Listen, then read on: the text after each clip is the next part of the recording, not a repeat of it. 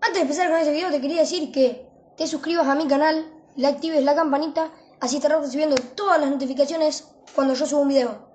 Dicho esto, comencemos.